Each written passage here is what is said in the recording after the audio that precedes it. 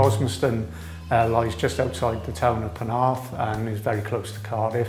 Uh, it's 110 hectares in size. It includes a number of habitats which are lakes, ponds, reed beds, meadows, woodlands, etc. We have lots of walks, nature trails. Uh, the Ranger Service carry out a very large, expansive environmental education programme.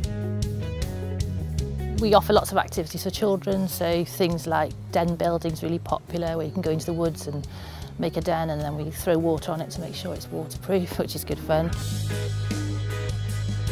The kids have had great fun getting involved in all the different activities, getting dirty, running around the fresh air. You can hear the noise and the laughter. teaches them life skills of how to work as a team if they're team building, to learn how, what they can do themselves, to push themselves by climbing, adventuring, if they fall over, to get back up again and to keep going. Try and get outside as much as we can do, uh, make the most of the weather, get outside as a family, spend time together as a family, but also away from the computer, the telly, and mobile phones and things like that.